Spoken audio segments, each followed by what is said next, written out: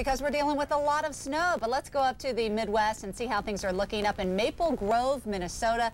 And that is where we find Mike Seidel all bundled up dealing with the elements out there. How's it going, Mike? Hey, Jennifer. Well, you know, as I said earlier, I'd much rather be here than having to dodge uh, the risk of twisters in the deep south. You know, people may complain about snow, but the uh, danger factor is a lot, lot less than what we're dealing with in the deep south right now.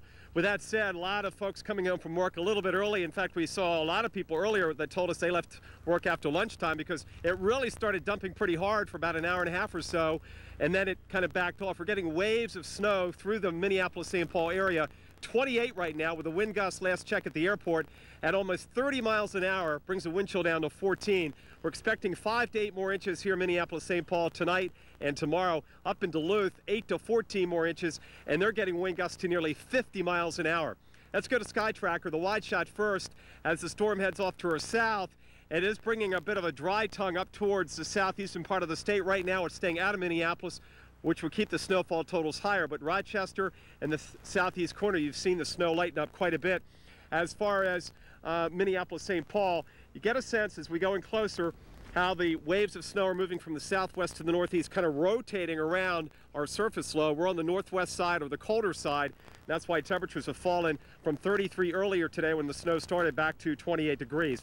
Now into Des Moines, Iowa. The western half of Iowa is a real mess. There's a blizzard warning west of Des Moines. Basically, if you live or if you're thinking about traveling anywhere west of I-35 in Des Moines, probably think about it twice. Uh, in fact, I-29 is shut down. I-80 is shut down from west of Des Moines to uh, the Nebraska state line. They're getting gusts right now to 37 miles an hour, and winds tonight in Des Moines may gust up over 40 miles an hour. You're not going to see a whole lot more snow, but it doesn't matter. There's snow on the ground, and the snow blowing around lowers the visibility. Let me show you what I mean out in Omaha. Now, this is an extreme uh, eastern parts of Nebraska. A blizzard warning continues until 6, and then after that, it'll be snow and blowing snow, much like in Des Moines, and maybe another inch or two of snow. I-80 has been closed most of today from just west of Omaha out into the uh, central part of the state, uh, at least a 100 mile stretch there because of the blizzard conditions in the whiteouts. You can get a, a real idea of just how poor the travel is. All right, Mike, it definitely does look pretty rough out there.